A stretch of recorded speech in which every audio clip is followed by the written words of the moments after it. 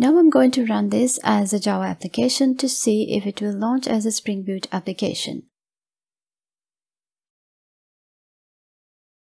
Well, as you can see, now there is an illegal argument exception and it says comment is not a managed type. So now I have to mark comment as an entity.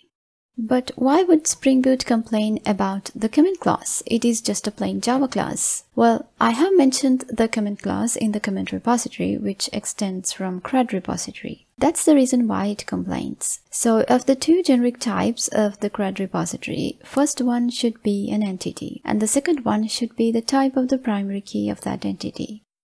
So the comment class should be annotated with at entity annotation.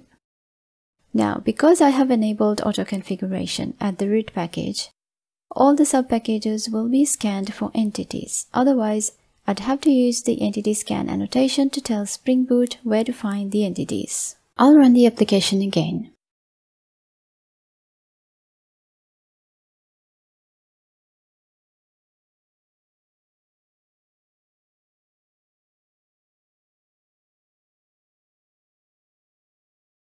Now there's another problem.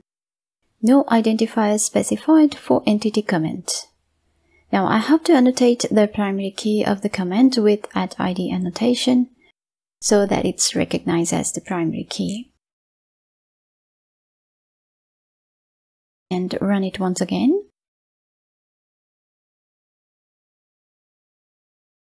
Now that it started successfully, I'll get back to the integration